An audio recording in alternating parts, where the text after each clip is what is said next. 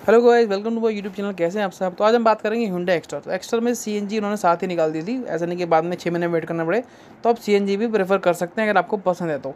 तो हुंडा एक्स्ट्रा का बिल्कुल बेसिक वेरिएंट उसका नाम है S one point two C N G manual transmission में। कौन कौन से कलर्स में आपको मिल जाएगी, क्या इंजन स्पेसिफिकेशन है, क्या पावर है सबको तो छः कलर में अवेलेबल है गाड़ी। आपका blue starry night titan grey ranger khaki fiery red और एल्टस वाइट ठीक है? ये इसका कलर हो गया।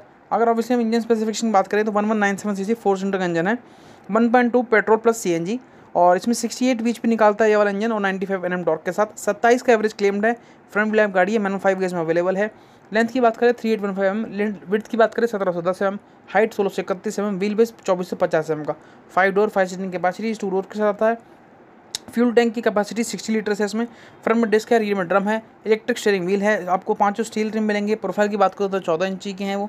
One sixty five seventy R से फोर्टीन सिंगल भी एट्टी किलोमीटर्स पर कंडीज भी आपको वन ट्वेंटी किलोमीटर्स पर एन कैप अभी टेस्ट नहीं हुआ है। सिक्स एयर बैग्स हैं middle three seat point middle rear three seat point seat belt tyre pressure motor system seat belt warning A B S C B D E S P hill control जैसे तमाम feature गाड़ी में देखने आपको मिलते हैं। Remote centre locking है speed sensing door lock है चाइल्ड सेफ्टी लॉक है। एसी है, लेकिन वो मैनुअल है और रियर में वेंट्स हैं हमारे इसके अंदर में प्लेस्ड हैं।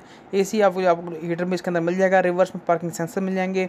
बारह वोल्ट के दो power socket front seat eight way manual adjust कर पाएँगे। रियर सीट को टू वे सीट में बॉल्सी में फैब्रिक का इस्तेमाल इसके अंदर किया गया है। हेड्रेस फ्रंट एंड दोनों में अवेलेबल है। कप होल्डर्स इस वेरियंट में सिर्फ़ सिर्फ़ फ्रंट में अवेलेबल है।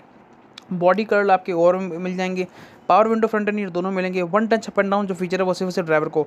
ओ आर इलेक्ट्रिकली एडजस्टेबल लेकिन फोल्डेबल नहीं है। Exterior door handles body colour है।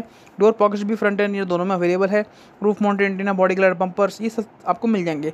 लाइटिंग सेटअप का बात करते हैं हेलोजन का इस्तेमाल किया गया है। टेल में एल e का और डी में भी एल का। कैबी लाइट सिर्फ़ और फ्रंट में अवेलेबल है। इंस्ट्रूमेंट क्लस्टर डिजिटल है कंप्लीट जिसमें average fuel consumption average speed distance trip meter low fuel warning और गियर इंडिकेटर सब कुछ मिल जाएगा। बाकी इसमें एंड्रॉइड ऑटो एप्पल कारप्ले के साथ आपको टच स्क्रीन दी जाती है एट इंच जिसमें six speakers steering mounted control voice command aux F M M तमाम फीचर देखने को मिलते हैं। अगर हम बात करें एक्स्टर का सी एन जी वेरियंट कितने का आपको मिल जाएगा ऑनडो डेली तो नौ लाख बत्तीस हज़ार रुपये ऑनडो डेली इसका प्राइस है। अगर आपको वीडियो पसंद है वीडियो को आप लाइक कर सकते हैं। चैनल पर नहीं चैनल को सब्सक्राइब कर सकते हैं। Thank you so much